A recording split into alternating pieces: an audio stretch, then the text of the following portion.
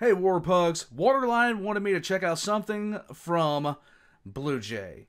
And he asked, when he put in the request, he said, when real life is crazier than Fallout. Oh boy, here we go. So, the Blue Jay is going to teach us about the worst radioactive ideas in nuclear history. And I have no I I have no doubt in my mind this is going to be some of the stupidest stuff I've ever heard in my life. Blue Jay, Blue Jay's uh, video on the Baltic Sea Fleet, the during the uh, Russo-Japanese the, the Russo-Japanese War, or however you pronounce it. My brain is not working today, gentlemen. Um, it was absolutely outstanding. We're gonna get into this one. Blue Jay, educate us. Let's go. Nobel, the Swedish inventor responsible for the creation of the world's most peaceful award. Yay. And dynamite. Yes. Now, our little Nobel here was a pacifist, and he intended his exciting invention to be used for construction and mining. Uh-huh. But little did our Swede know that when a world leader hears of a device capable of curing an object's need of a violent dismemberment, there are a few things higher up on the to-do list than rocks. Yeah, they're fantastic for breaking apart large rocks in mines. So, how much can I put you down for? German whisper, German whisper, German whisper. 50,000 kilos. Wow, got a lot of mining operations in Germany, huh? Yeah. Actually, these mines are in France. At the end of the day, dynamite found most of its uses on the front lines of war. But while it ultimately wasn't popular for what Nobel intended, at least it retained its core concept of moving large rocks. Right. They were just more pointed. Yes. Stories like this aren't exclusive to Alfred Nobel, however. There are a plethora of examples of breakthroughs in science and technology finding uses outside of their original intent. In the I don't want to know. discovery of radiation, nukes, and atomic energy are no exception. I just- So sit back and crack open a Nuka-Cola, because today we're talking about some of my favorite nuclear applications in history. Let's go. Hi, Blue Jay.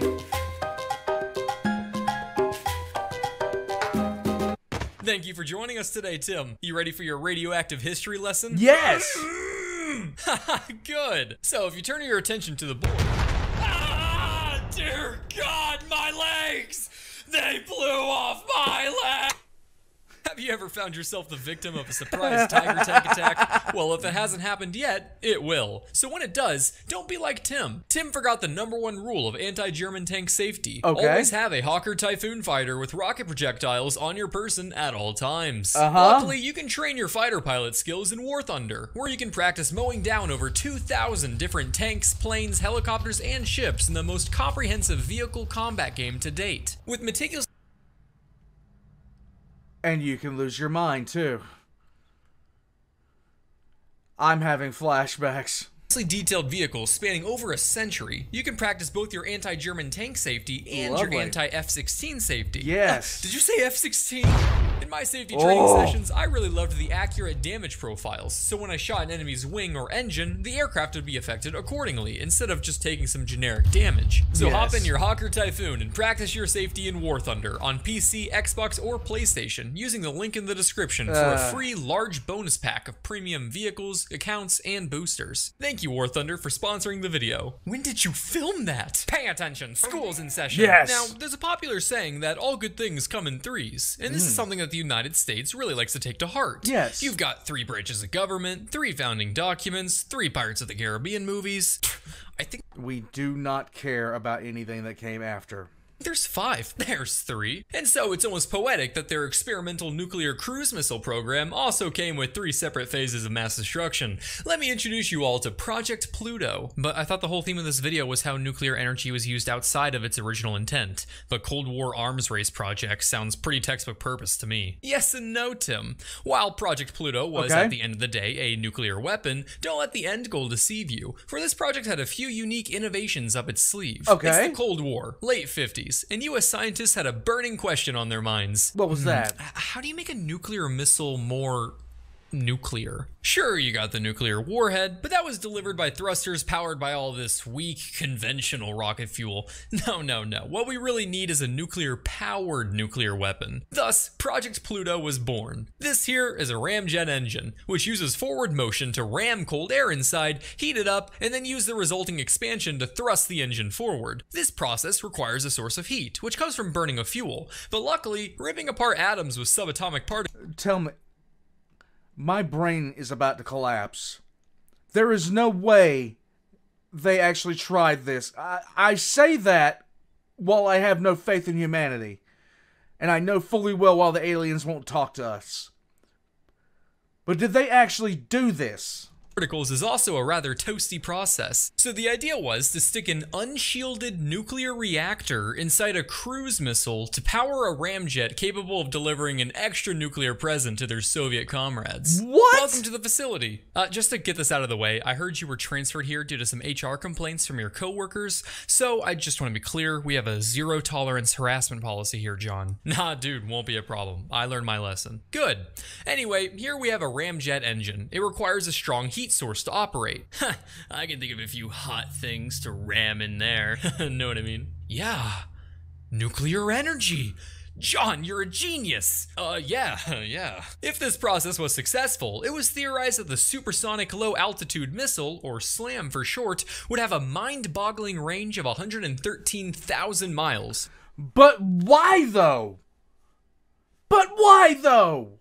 Or 7.16 billion gumballs, meaning it would be able to stay How do you know airborne that? for days or even weeks before running out of the glowing juice. While an ICBM could also reach anywhere on Earth, the main benefit of the cruise missile was that it could fly at just 500 feet off sea level, meaning it would be invulnerable to interception and virtually undetectable by the technology of the time. Oh my god. To achieve this, air would be blown directly through the unshielded reactor for heat, meaning this little bundle of fun would be showering everything below it with some extra spicy air as it flew by, shattering eardrums at Mach 3. Edwin Lyman from the UCS stated that even before reaching its target, the missile would be a quote, flying death factory, with the Nevada National Security Site stating it would deafen, flatten, and irradiate people along its path, much like a group of Harley riders. And that's just the first of the three phases of Project Pluto's mass destruction. That is legitimately the dumbest thing I've ever heard. Why would you do this? The, So then we're taking body shots off the grizzly bear, right? Huh? Say, do you taste iridium? But just like how Harley riders possess the physical urge to rev their engines and ruin a community's morning, so too does our little slam missile desire to rev its engine per se. Only it does so about 8 billion times louder. That's because the missile could hold anywhere from 14 to 26 thermonuclear warheads to drop along its path. Because the only thing better than one nuclear attack is Several. of course, this leaves the third and final phase of destruction, where Project Pluto detonates its own warhead on the last target. One final nuclear ribbon to top off an apocalyptic wake, the American way. Two versions of the nuclear ramjet engine were built and tested successfully, but They regardless, built the the Pentagon damn was thing! concerned about how this weapon could provoke an escalated Soviet response. worry about what you're. Oh my god! Screw the Soviets! Something about a single low flying cruise missile that drops a few suns as it plays connect the dots across the Soviet Union, all whilst leveling infrastructure, rupturing eardrums, and blanketing pedestrians with copious amounts of cancer sauce, was deemed too provocative. Yeah, no kidding. Yeah, and there's room for at least like 20 hydrogen bombs in here. Whoa, okay, let's pump the brakes here. This is getting out of hand. Ah, yeah, I agree. It's getting a bit unethical. Uh, so we still on for testing those nerve agents on our own ships and sailors, right? Yeah. Actually, let's move on to the sarin gas trials. This, No! along with innovations in ICBM technology, led the program to be scrapped in 1964. But if you were really rooting for our little flying Chernobyl, don't you worry. In a speech that could be mistaken for a Bond villain audition, it was revealed that another nuclear-powered missile was being developed by everyone's favorite Stalin stan, Root Tootin' Putin McShootin himself. And that's not just me talking. The NATO reporting name for the weapon is literally Skyfall. But I remain skeptical about this missile's future. Surely we can count on our little Putin pie to not do anything rash.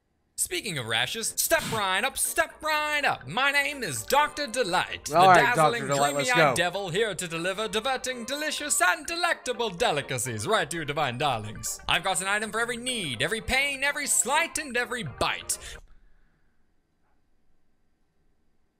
Don't. I, I don't. No. Please, no. Your sweet tooth shan't seek sweeter after one bite of my radium chocolate. Polish those pearly whites with some radioactive toothpaste. Give Timmy a radium scope for the little chap's birthday. Fix that uh, face with some radium cosmetics. We've got radium in your water and radium for your daughter. A bit of radium butter for that fillet and even radium lingerie. We can stuff it up your trunk and even fix your junk. Yes! You just name it, and we've got radium in it. So, What'll it be, young lad? My wife is leaving me. Uh, I've got uh, radium divorce papers. There you go. A radium vibrator? What? It was just getting good. We can stuff it up your trunk? We can't air this. No, it, what's wrong with it? It's got pizzazz, character, Yes, sex appeal. Are you supposed to be doing a history video? Oh shit, that's right. Radium, discovered in 1898 by the unstoppable French power couple Marie and Pierre Curie, radium is a metallic element that can be found naturally inside of uranium ore and also appears in minuscule amounts in virtually all rocks, soils, waters, plants, and animals. It was quite an exciting metal that took the world by storm in the early 20th century due to its new and practically magical property, radioactivity. Radiation was a new phenomenon at the time, captivating the public who were unaware of its dangers and instead saw it as this promising and powerful force. Not only did Ah. radium give off this new force, but it also glowed really cool. So it began to find itself marketed in all sorts of products, from foods to cosmetics to suppositories, all claiming it had mystical healing properties. Wait, wait, wait, wait, wait, wait, wait, wait, wait, wait, wait, wait, wait.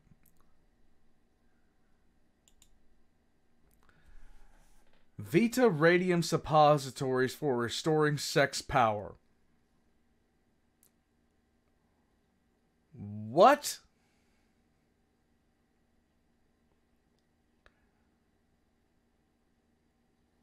Oh my god.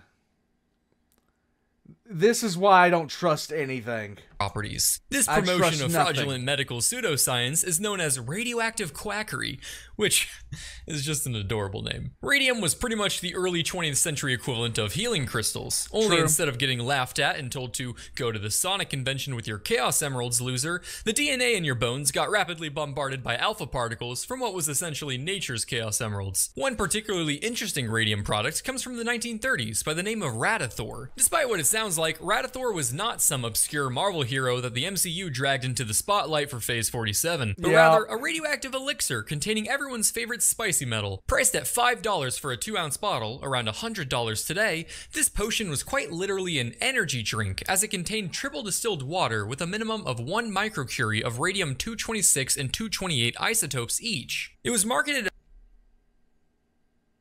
Oh my god, we're stupid. As a cure for the living dead and a perpetual sunshine that could cure the user's impotence and enhance the body. While today we have 16 year olds dry scooping pre workout with a cotton candy bang chaser, the Chads of the 1930s were practically giving off secondhand skin cancer as they pounded drinks with an ingredient 3 million times more radioactive than uranium. Radithor's most famous customer was Eben Byers, an amateur golf champion who took several doses of the spicy sauce each day, believing it gave him a toned up feeling. A few years later, he would die from radiation poisoning after his jaw literally fell off and his bones and tissues began disintegrating. His oh body Oh was so radioactive God. that he had to get buried in a lead lined coffin, and his corpse was still found to be highly radioactive after it was dug up over 30 years later. Now, you're probably curious how a doctor could possibly peddle a health potion containing a substance with very little research around it. And that's because the company owner behind the drink, William J.A. Bailey, was definitely not a doctor, as he had dropped out of Harvard, but told everyone he was anyway because fuck it. So, this can cure my erectile dysfunction? Yeah, It really doesn't surprise me at all because we're doing this crap today. Uh, dude, I made it myself. I'm a doctor. Oh, score. Okay, can I just like throw this in my bag or is the bottle fragile? Oh, it's the strongest. Trust me, I'm a material engineer. What? Hey, this is the stuff that killed that golfer. You're gonna end up in jail. Nuh-uh, my dad's the president. A- and he went to space. The golfer's death led to the demise of many other patents on radiation-based medication as the FDA uh-huh. tightened its restrictions. But don't you worry, there are plenty other non-medicine-based radium products to be sold, such as perhaps my favorite and yet another miracle invention by our lovely William J.A. Bailey, the Radioendocrinator. Priced at up to 1,000 buckaroos, the device consisted of small pieces of paper coated with radium sulfate and stuffed into a credit card sized metal case with a mesh window. This atomic credit card was touted as the last word in scientific manufacture and was advertised for a variety of uses, such Okay. as directing men to put it under their scrotum at night and to quote, radiate as directed. Now, I know what you're thinking, but what if I roll over and my jingle bells don't get the full dose? Don't you worry, champ. It came complete with its own special jock strap to roast them chestnuts overnight. William Bailey would go on to die from bladder cancer in 1949, but perhaps in another time. Why? Why do people do shit like this? timeline, his radioactive quackery would have actually yielded some results.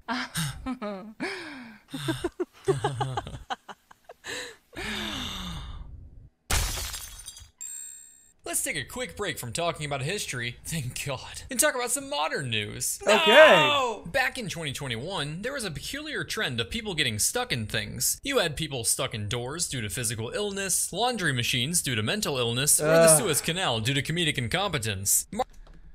That was not comedic incompetence. That was utterly the dumb. uh, Thank you for clogging up everything.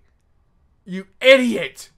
March of 2021 saw a quarter mile long cargo ship jam itself into the Suez Canal, blocking passage. And while the world's economy took a massive hit, the meme economy couldn't have been healthier. But unfortunately, humor isn't as valuable to the world's leaders as real money, something I plan on changing once I'm elected. So plans have been made to widen the Suez Canal to uh-huh. prevent future blockages. They're but wouldn't not. it have been much nicer if we had already had a solution to this problem implemented in the first place? Back in 1963, a United States proposal was considered that would have done just that, pitching the idea to build an alternative to the Suez Canal through the Negev Desert in Israel. However, the 160 mile long canal would have been astronomically expensive to dig with the excavation methods of the time. But, as luck would have it, the world had just invented some fun new toys that were excellent at making big holes. There's no way we could dig all that. We'd never get the budget. Yeah. Like, like, oh my god. Oh my god. And these people, these same idiots are in power now. Somebody help. Somebody help. I mean, if only we could just like nuke our way across it. Wh- what are you doing? Jim, no. Like a preteen getting their first taste of power in Minecraft creative mode, the plan was to explode a long line of bombs across the desert to dig a Suez alternative canal. To do this, the US would need to use 520 nuclear bombs throughout Israel to excavate the required amount of earth at a ballpark cost of only $575 million. The paper described itself as a crude preliminary investigation, in that using these little nuclear excavators appears to be within the range of technological feasibility. Which doesn't sound all that confident of an assessment. More like some scientist who used to blow up mailboxes with firecrackers as a kid thought it go boom and, and then gone. The project would have sought to use nukes only throughout the unpopulated desert wasteland portions of the canal, where radiation wouldn't be a threat to people. You know, probably. However, while this idea No. would have been strategically valuable and eliminated the Suez monopoly on shipping passage, it never got past the proposal stage. This is likely because the paper avoided one big elephant in the room, with Right. itself stating, another problem which has not been considered is that of political feasibility. You know, whether or not the most politically tense portion of the Middle East would be open to the idea of half a thousand nuclear firecrackers in their backyard. Yeah, so I'm gonna give you a general idea. That would be a no from literally everyone. We use four two megaton nukes for every mile along this part. What? I said we'd use four. We'd use four two megaton. now, if we back ourselves up a little bit to know the first sentence of the memorandum, it reads: "Another interesting application of nuclear excavations." Another? No. You mean? Yes, Tim. This was not the first time the idea of using nukes for digging was thrown around. In fact, out of all of them, this one received the least amount of development. The Israeli Canal Plan was all a part of a larger program by the name of Project Plowshare, an initiative to investigate civilian use of nuclear bombs for peaceful construction. This Wait, included what? ideas such as widening the Panama Canal, carving roads through mountains, nuclear fracking for natural gas, and creating various bodies of water such as harbors, canals, and aquifers. Through 27 different nuclear tests, it was discovered that while the concept would work, the whole nuclear part left things a bit too radioactive for comfort. However, I for one would love some radioactive natural gas. Yeah, we just got this new gas fire pit. No need to worry about inhaling smoke anymore. No, sir. My lungs and overall physical health are much better off now on account of the natural gas and all. T- Todd, why is the fire green? Here, have a roasted marshmallow. Sup? Project Chariot progressed the furthest out of all of the Project Plowshare initiatives, which sought to create an artificial harbor by blowing up part of the Alaskan coast. It was abandoned because the local Inupiat village protested the plan, causing Yeah. the US to have a change of heart, and definitely not because it was too expensive. I enjoyed reading about that one because it's not often you hear stories about native villages getting their way, so it's nice to learn that they remain safe from any potential radiation poisoning. Not until it was discovered that a few years later, the US had buried nuclear material there anyway, probably causing the recent spike in the village's cancer deaths. Psh, Oh, America. Whether it was insane or truly ahead of its time, no peaceful nuclear bomb projects ever saw fruition. Except for the Soviets, who actually succeeded in stopping some gas fires. Duh. So, how about it, Sim? Okay. Feel like an expert in all things nuclear? Hmm, I mean, those stories are all very interesting, but why is radiation dangerous in the first place? Oh my god.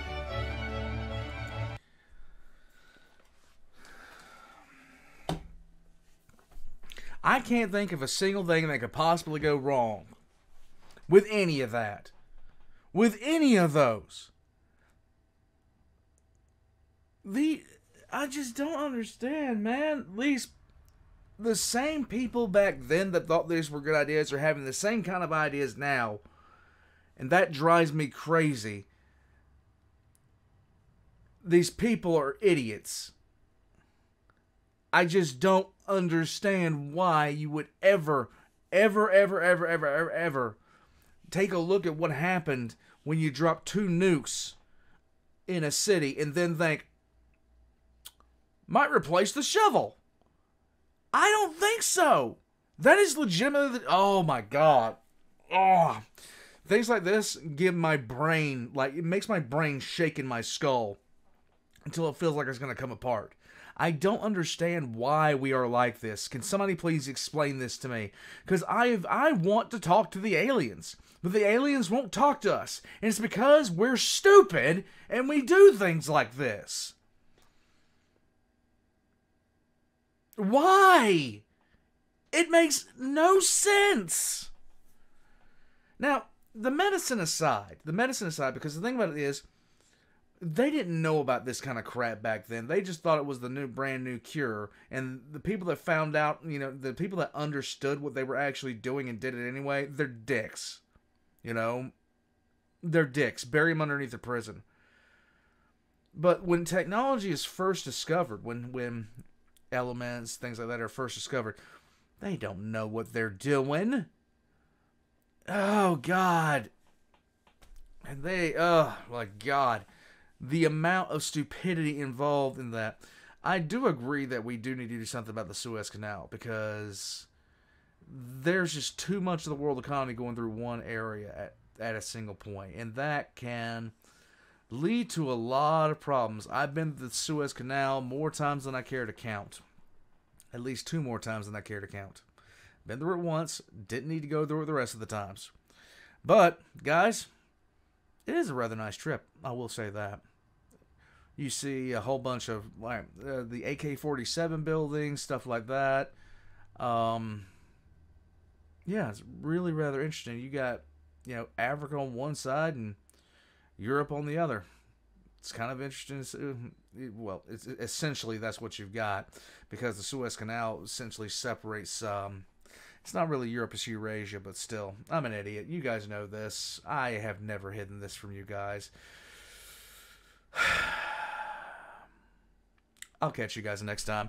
I'm going to go put a like on this video, subscribe if you guys haven't already, and check out Blue Jay His link's going to be in the description down below. I hope you guys enjoyed, and I'll see you guys next time. This is why the aliens won't talk to us, and it makes me sad.